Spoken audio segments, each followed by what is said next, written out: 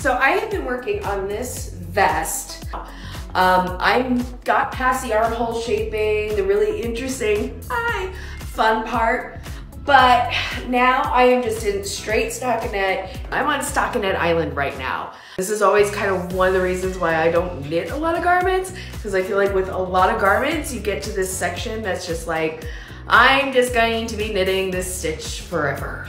I think I just need another side project to kind of get my juices flowing. And so what I'm going to do is I'm gonna cast on a pair of socks. I have this yarn.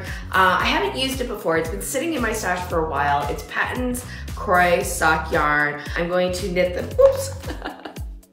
to keep things even more interesting for me, instead of doing my usual two circular needles for socks, I'm gonna use nine inch circulars.